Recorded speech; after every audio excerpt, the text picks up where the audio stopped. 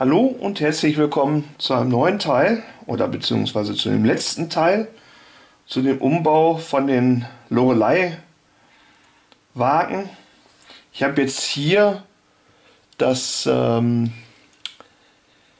den Speisewagen so, ich wollte schon sagen das Bordrestaurant, aber das war ja ein paar Jahrzehnte später erst dran. Und ja, ich habe noch nicht die Kupplung eingebaut. Das erste, was wir also machen, ist die Kupplung hier, den Stecker abschneiden. Brauchen wir erstmal nicht. Passt ja nicht, haben wir ja schon bei den anderen Wagen gesehen. Habe ich mir richtig aber gemerkt, die Buchse ist oben. Also diese Haken hier kommen nach oben. Sie hätten ja schon so vorab so einen kleinen, stopp, nicht hier durch, so einen kleinen Fahr Bericht von dem normalen Wagen schon gesehen, was ja wirklich klasse aussieht. Und davon bin ich auch echt begeistert, auch von den Laufeigenschaften jetzt mittlerweile, wo ich ja am Anfang wirklich große Bedenken hatte, ob das denn überhaupt was ist und wird. Aber das hat mich ja wirklich überzeugt. So. Jetzt geht hier gerade mal gar nichts. Wir müssen also so eine kleine Schlaufe hier unten legen. Logischerweise. Dass hier auch hin und her sich so bewegen kann. Und dann auf der anderen Seite stecken wir den Stecker, die Steckerseite mit den nach unten rein.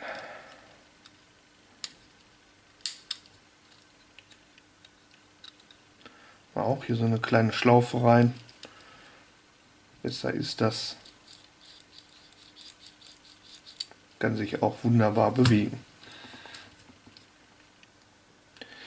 Ja, die Sache, warum ich hier nochmal den Speisewagen ja zeige, ganz separat ist, wir hatten ja jetzt die Beleuchtung so festgelegt.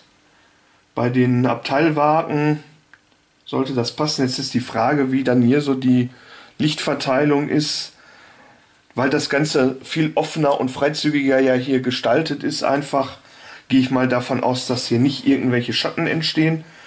Zum einen Löten der Beleuchtung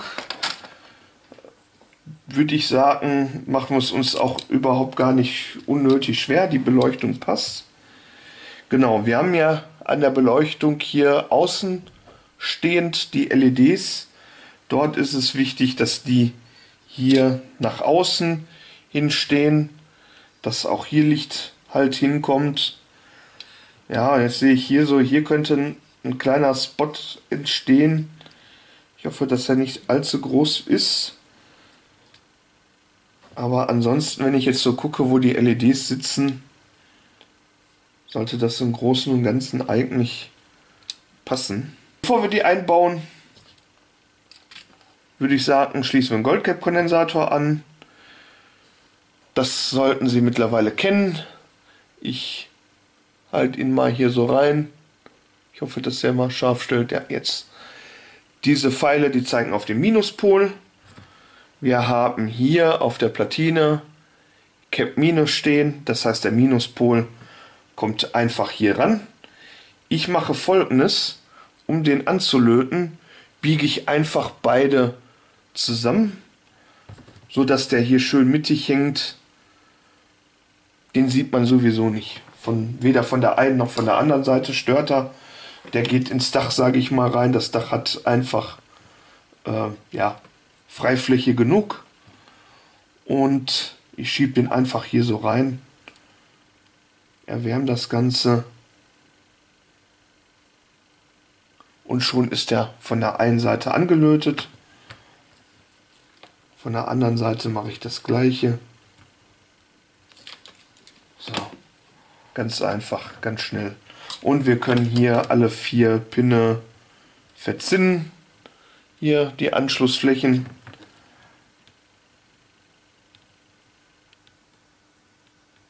Überhaupt gar kein Thema.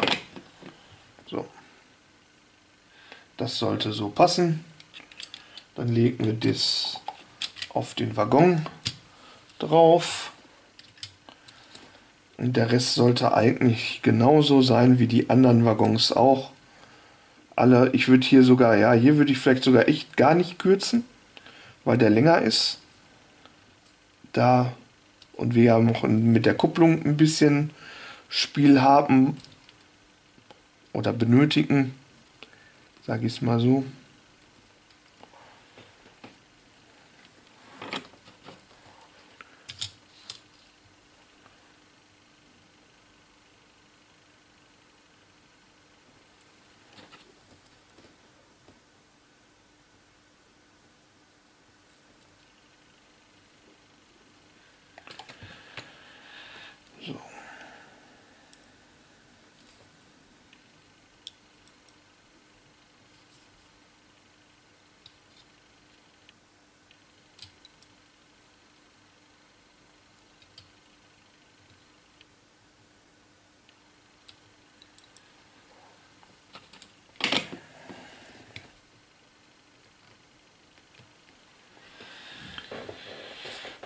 So, von der Seite, wenn ich jetzt mal hier hinten zuhalte, sieht das sehr konstant aus, sehr schön.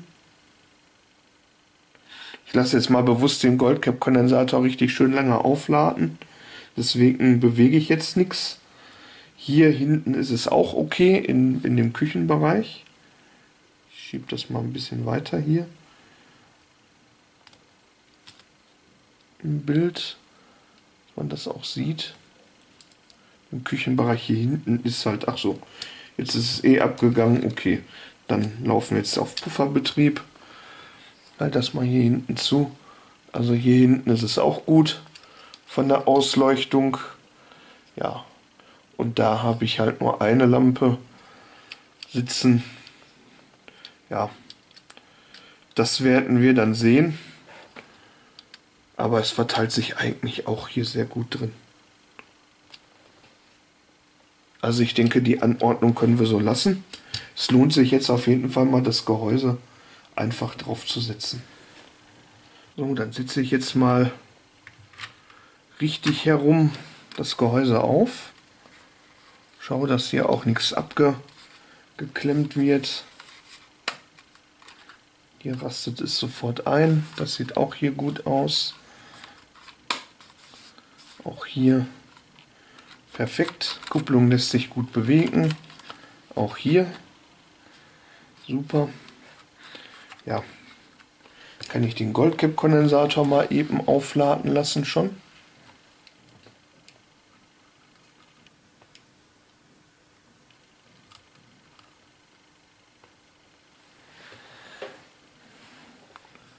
Ich denke, das kann sich sehen lassen. Auch hier hinten kommt noch genug Licht dran. Ah, die Küche, die ist leer. Das ist schade. Das ist echt schade hier hinten. Ich denke, ich klebe da auch noch Figuren ein und schau mal, was sich da so machen lässt. Wie so eine Küche in so einem Speisewagen dann aussieht, um das irgendwie realistisch gestalten zu können. Aber da mache ich noch was. Das ist mir hier zu nackt in dem Bereich, definitiv. Und ich habe dazu auch tatsächlich ein Foto gefunden, wie es aussah. Und ich kann jetzt dieses Foto, weil es urheberrechtlich hier geschützt ist, nicht zeigen. Ich kann es aber verlinken, das darf ich ja. Und ich kann es hier eben in diesem Video beschreiben. Und diese Ablage hier, das ist richtig vor den Fenstern. Die ist aber aus Edelstahl. Das heißt, das muss hier ja, Silber an lackiert werden. Und es ist so, also erstmal ist hier alles, die ganze Küche aus, aus Edelstahl. Es ist so, der Boden, der ist schwarz. Man sieht hier zwei Personen drin, das ist sehr, sehr eng. Dann hat man hier in dem Bereich, ich zeige es einmal mit der Pinzette, hier in dem Bereich hat man eine, eine Durchreiche. Hier vorne steht der Ofen, wo gekocht werden kann. Diese Geschichte hier dient komplett der Ablage, der Zubereitung. Hier ist noch so ein, ja, in dem Bereich, da wo das, wo das Fenster, ja, das muss ich mich mal am Fenster orientieren. Wo wir denn dabei so rauskommen. Genau, hier vor dem Fenster quasi ist eine Spüle. Also hier in dem Bereich wird gespült. Die ist hier mit integriert. Ja, und dann ist hier halt, wie man dann hier sehen kann, wirklich die Wand. Ich gehe hier von aus, dass das ein Kühlbereich ist, wie auch immer. Ich werde hier ein paar Sachen, ein paar Vorräte reinkleben. Ich weiß es natürlich nicht, ob es dann komplett vorbildgerecht ist. Aber diese Küche hier möchte ich ganz gerne so gestalten, wie ich das sehe. Die haben ja hier diese Gitter, diese, ich nenne es jetzt mal schwedischen Gardinen vor, vor den Fenstern. Und da hängen so Töpfe oder ja, so Behälter, wo sie so Messer und etc. solche kleinen Utensilien drin hängen haben. Das möchte ich auch ganz gerne hier irgendwie reinkleben. Ja, und man sieht auf dem Bild halt wie so ein, ja, was ist es, äh, ein Hähnchen zubereitet ist, plus so eine ja, kalte Buffetplatte, wie auch immer. Und man sieht halt einen Mann und eine Frau das ist so das, was man so auf dem Bild erkennen kann. Ach so, genau. Und das Ganze hier innen drin, das ist auch ja nochmal wichtig, das ist so weiß gehalten. Also ich denke mal, es soll weiß sein. Ähm, ja, so, so ist das. Dementsprechend werde ich das hier weiß machen. Es gibt dann auch noch ja, sind das Hängeschränke? Ich weiß es nicht, was davor ist. Das kann man sehr schlecht erkennen. Also ist halt so die Frage, ich werde es so ein bisschen nach diesem Foto gestalten, auf was ich so an, an Details dort erkennen kann. Ja, dementsprechend würde ich sagen, können wir dann auch loslegen.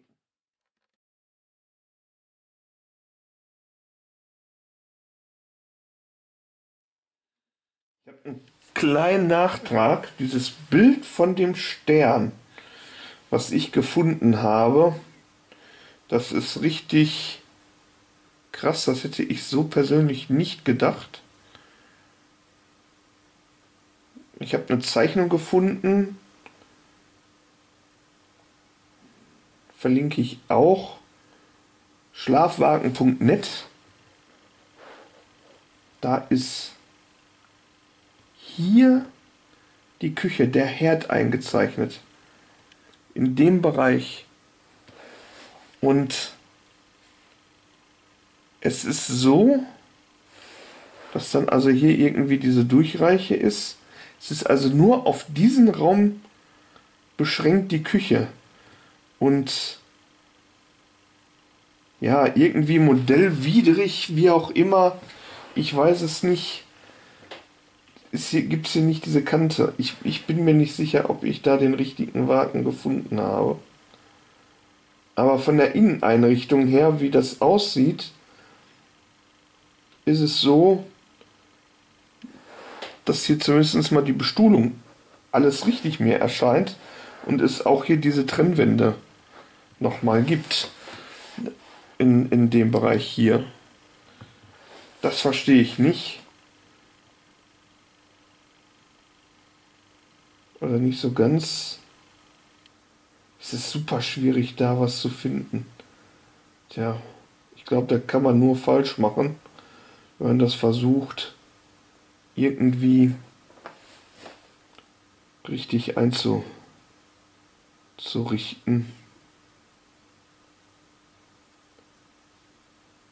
Tja, ich muss mal weiter recherchieren. Farbe muss ja eh trocknen.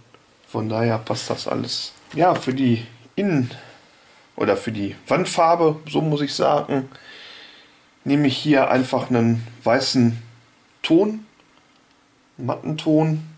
Das mache ich auch diesmal mit einem Pinsel. So, dass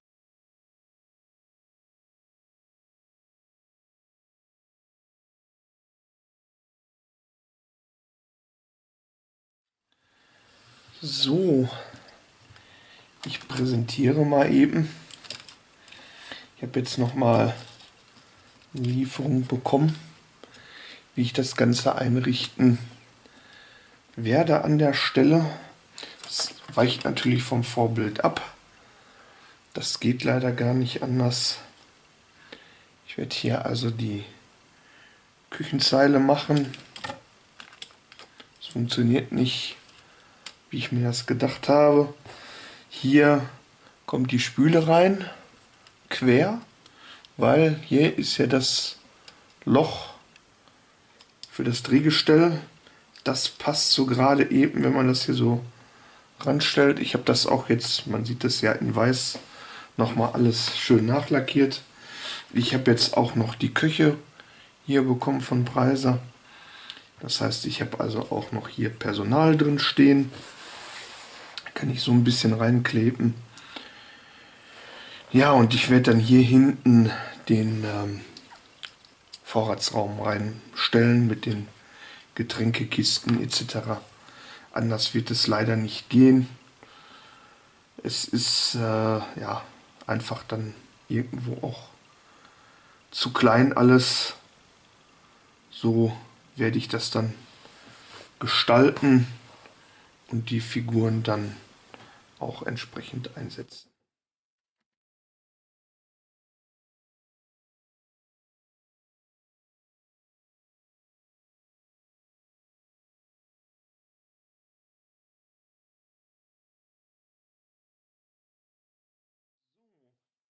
wo der Kleber getrocknet ist,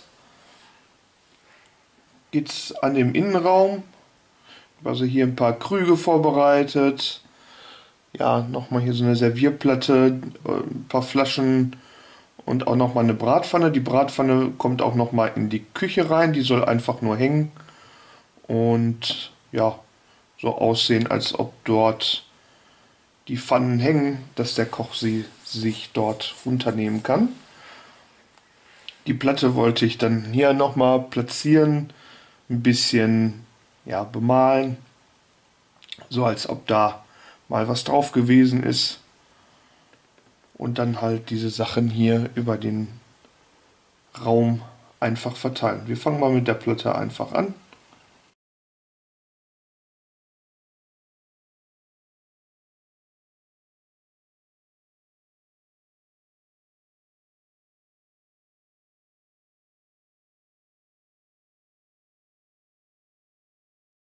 Jetzt bin ich angelangt an der Ausschmückarbeit. Ich habe schon die Beleuchtung aufgelegt. Ich zeige einmal den Wagen hier in seiner vollen Pracht, so dass man das einmal komplett sieht, wie es jetzt gestalterisch geworden ist.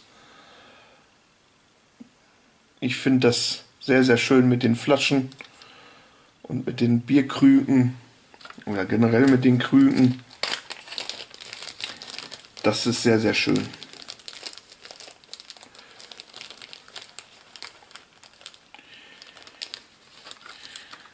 Ja, zu guter Letzt müssen wir noch die Beleuchtung sichern. Also, das heißt, sie ist ja jetzt hier nur aufgelegt. Und ich mache wieder was altbewährtes mit einem O-Ring. Zack, an der einen Seite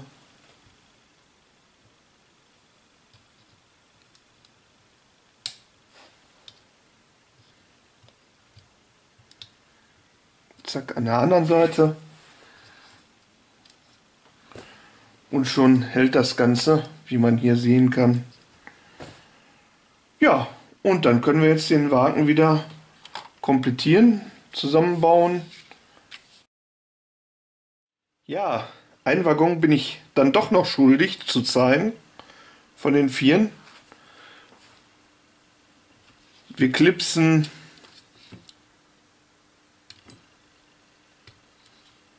die Kupplung ein Und ich habe, weil, das kann ich eben einmal zeigen, das ist ganz wichtig, dass ich das hier nämlich noch zeige, die Auslenkung hier geht so weit, dass man gar nicht hier an den Seiten bohren kann.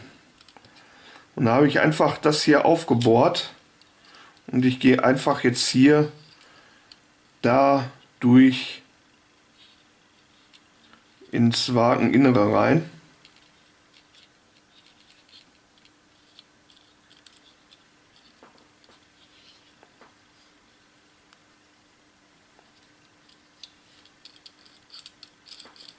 Das Ganze funktioniert hier ganz gut. Das muss man wissen. Und warum ich diesen Wagen noch zeige, wir haben ja noch was komplett außer Acht gelassen. Die Einspeisung von unseren Märklin-Schleifern. Die muss ich ja auch noch hier zeigen, wie man das Ganze dann schlussendlich verbindet. Ja, was machen wir als nächstes? Wir setzen also dann ein Drehgestell hier wieder ein an der Seite. Das funktioniert dann auch. Und ja, die Kupplung auf der anderen Seite, logischerweise. Das ist auch noch ganz wichtig.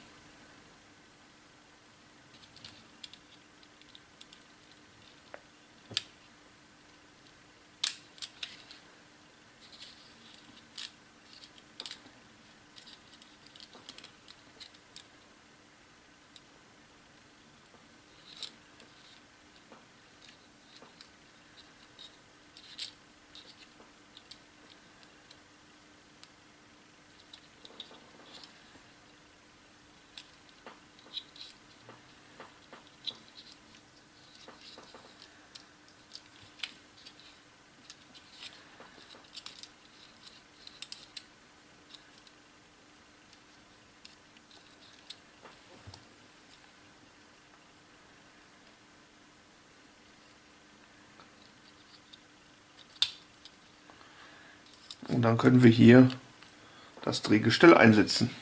Erstmal.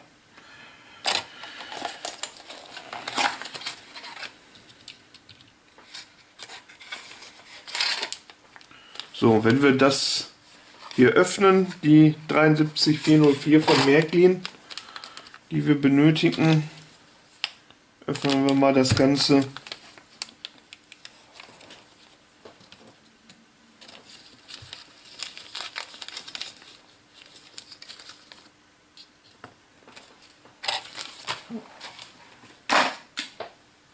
schon direkt entsorgen, die Verpackung. Oh, hängt das erstmal hier sehr gut zusammen, wie ich feststellen muss. So, wir haben jetzt folgende Möglichkeit. Wir sagen entweder an einem Drehgestell montieren wir hier alles oder wir machen das getrennt an zwei Drehgestellen. Ich persönlich mag das lieber, wenn man das einfach trennt. Das ist also überhaupt kein Thema und gar kein Problem. Wir fädeln also die Leitung hier einmal durch und klipsen den Mittelschleifer hier einfach ein. Und das war's. Dann haben wir hier schon mal den Mittelschleifer installiert. An dem anderen Drehgestell müssen wir dann dieses Kupferblech hier einsetzen. Ist auch noch ein Knoten hier in der Zuleitung drin. Hier sind so kleine Haken, die kommen hier rein. Wird dann einfach unter die Achse hier geklemmt, das Ganze. Das heißt, die Achse einmal eben kurz rausnehmen.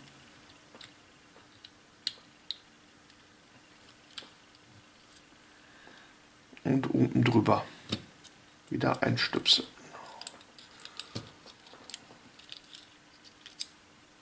So, dann die Leitung natürlich hier durch das Loch wieder fädeln und dann können wir schon von oben ziehen.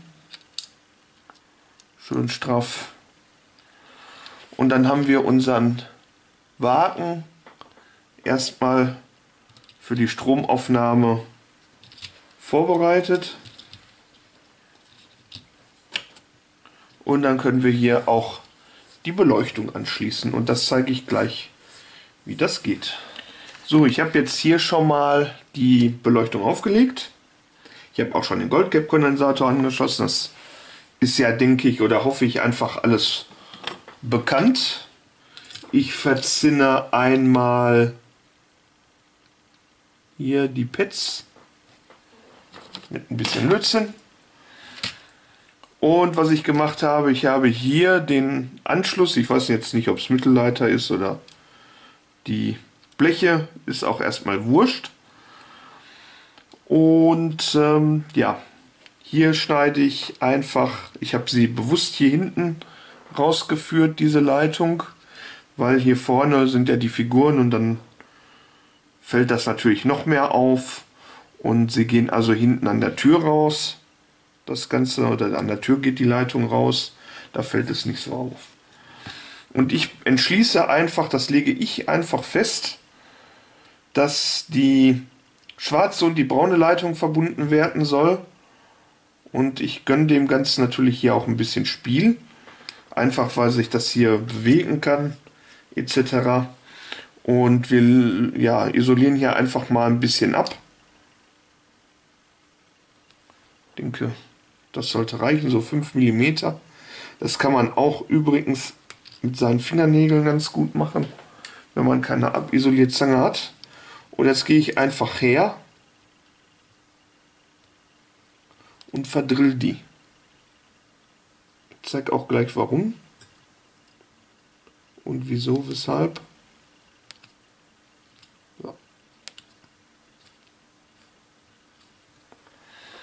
Jetzt sind die zusammen und jetzt na, sieht man nicht. So. Die sind jetzt zusammen und jetzt kann ich die auch gemeinsam verzinnen. Da geht nichts auf und nichts. Und jetzt sind die schön miteinander verbunden und gleich kann ich die schön auf das Pad nämlich drauflegen. So, und das gleiche mache ich auch hier mit dem Grauen. Auch einfach ein bisschen Luft lassen. Im Dach können wir ja die Leitung verschwinden lassen. Einmal hier verdrillen. Schön, wie man sieht.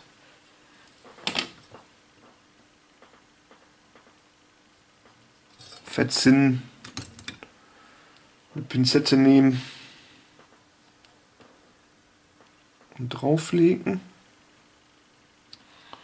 Und das gleiche auch hier. Wir können auch so das Ganze machen.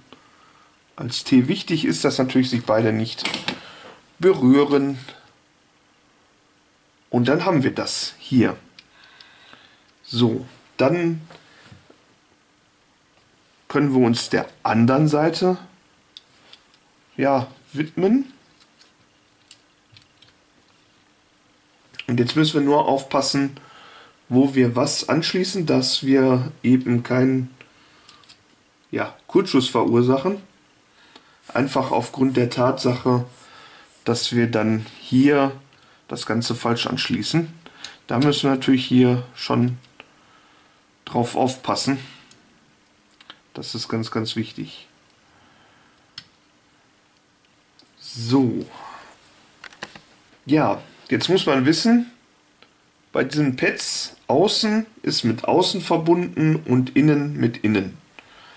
Das ist die Regel, die wir wissen müssen. Das ist ganz wichtig. Und jetzt ist es so, dass Grau hier von der Kupplung kommend, also auch wieder auf Außen gelegt werden muss. Und Schwarz diesmal, das ist ja der, der ja hier von dem Mittelschleifer oder von dem Kontaktblech, ich weiß es nicht, kommt, auch innen, nee, außen, Entschuldigung, außen jetzt verbunden werden muss, weil es ist ja der Gegenpol und der schwarze kommt nach innen. Das ist der schwarze hier von der Kupplung. So. Also wir verzinnen das Ganze einmal wieder. Ganz einfach.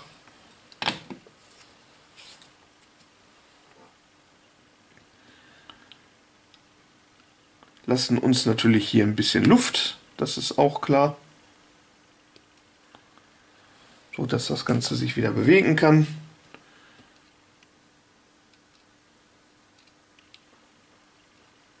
So, der muss hier hinten irgendwo dran, dann machen wir auch mal hier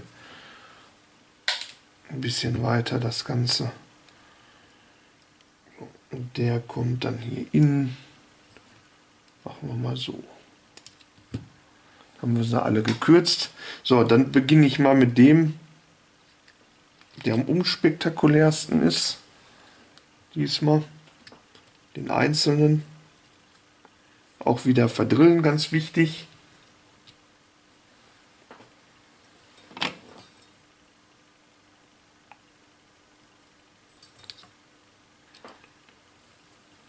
Und der kam ja nach innen. Und den löten wir dann auch hier an.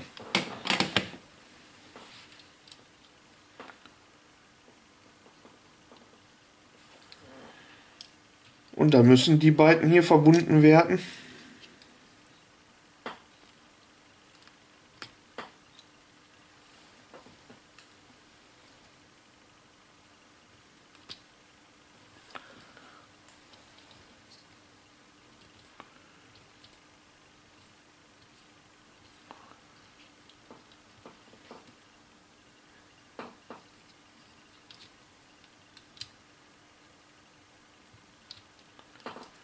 Und ja,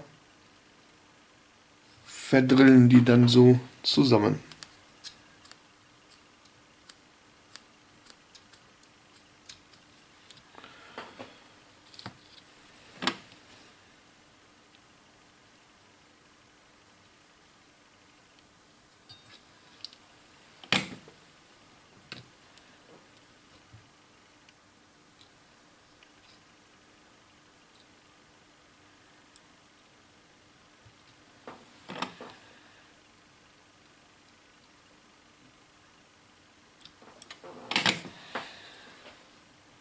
Und schon haben wir das Ganze angeschlossen. Zu guter Letzt nehmen wir uns noch den Sicherheitsohrring, dass die Platine hier schön an Ort und Stelle bleibt. Na, brauche ich beide Hände für, um das festzumachen.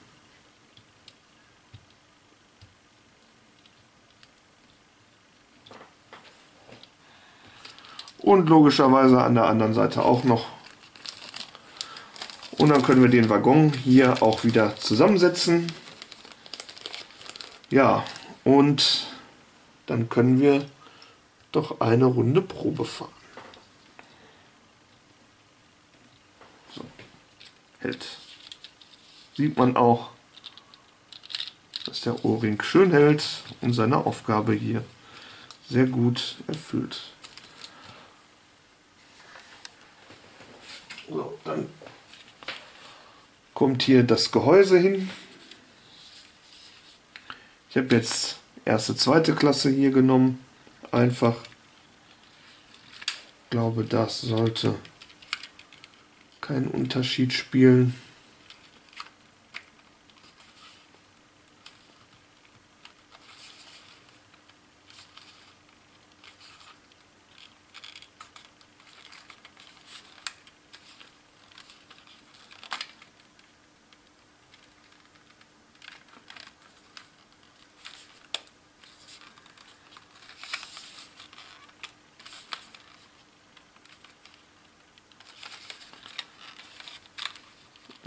ist die Frage, wo hakt es? So, jetzt an der Stelle. So.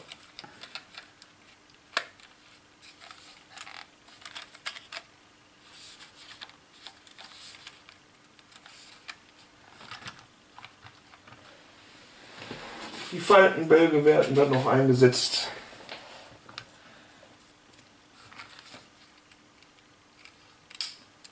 Klick.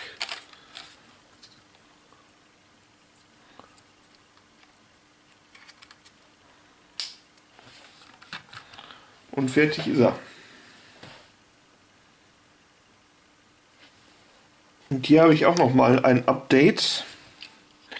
Ich habe gemerkt, dass die Fahreigenschaften nicht so toll sind, weil das Ganze sich hier irgendwie verheddert. Und ich habe jetzt doch die Leitungen hier durchgeführt. Das bedeutet, alle Wagen wieder öffnen, alle Wagen wieder neu anlöten, etc. Es bleibt aber genau eigentlich bei dem ja, gleichen Anschlussschema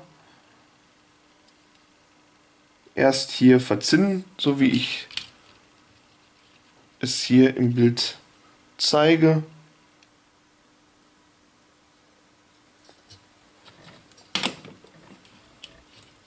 Es ist immer im Endeffekt das gleiche oder dasselbe, ich weiß es gerade nicht. Deutsch ist dann nicht so meine Stärke, muss ich ganz ehrlich zugeben.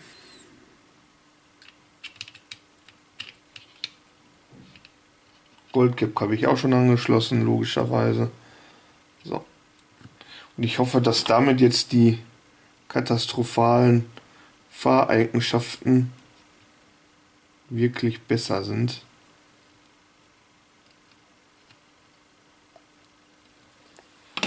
Aber dazu werde ich auch noch was sagen.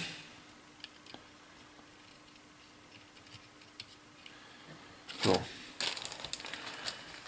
Und dann können wir hier auch die Ohrringe wieder aufsetzen.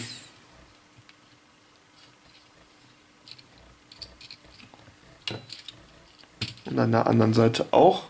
Jetzt sieht man, dass dieser Wagen hier an der Seite nämlich keine weitere Kupplung bekommen hat, sondern eine Trix Express Kupplung hat. Und das hat ja den Hintergrund, dass der hier immer an der oder hinter der Lokomotive sein wird. Und ich habe das auch bewusst gemacht, dass die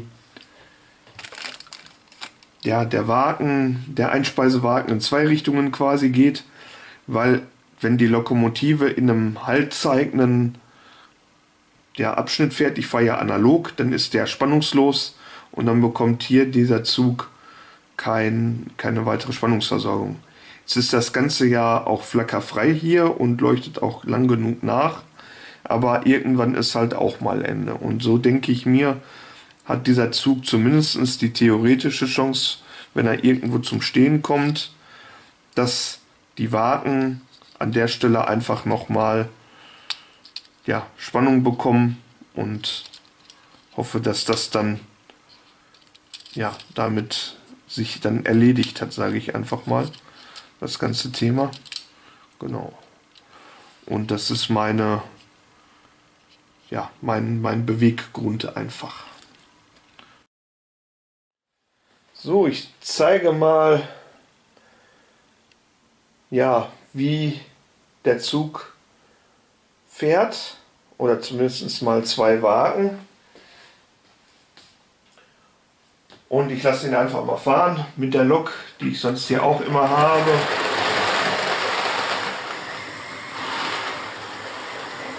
Ein bisschen Nachschub geben. Und ich denke, es ist ganz gut was zu hören. Der ist entgleist. Ich habe also des Rätsels Lösung gefunden, wie das Drehgestell auch die Steigungen nehmen kann. Man muss es also noch weiter bearbeiten und man, ich zeige es einmal, damit man das auch wirklich deutlich sieht. Hier sind ja noch ja, diese Dinge hier vorhanden. Ich schneide es einmal weg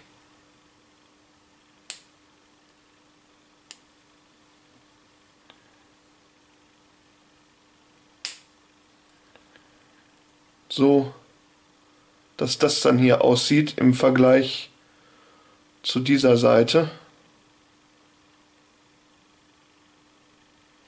Und dann stößt dieses Drehgestell nämlich auch nicht mehr da dran. Schneide es einmal so weg.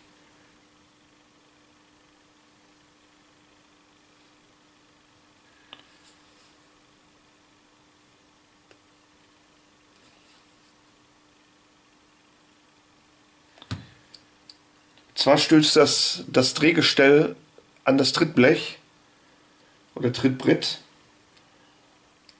verhakt sich da und dann führt das zum Entgleisen. Das habe ich jetzt schon ausprobiert und als weitere Maßnahme, dass hier noch mehr Beweglichkeit einfach herrscht, muss dann schlussendlich statt so diese Kabelführung muss dann hier durch durchs Drehgestell. Und das führt dann dazu, dass der Zug auch wirklich fährt und auch wirklich ja, Steigungen bewältigen kann, ohne dass irgendwas passiert.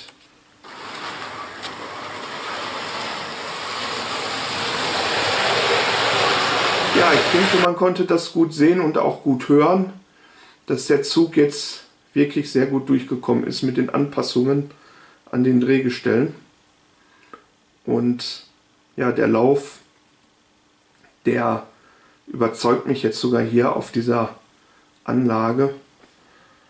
Von daher denke ich, kann man das jetzt so akzeptieren.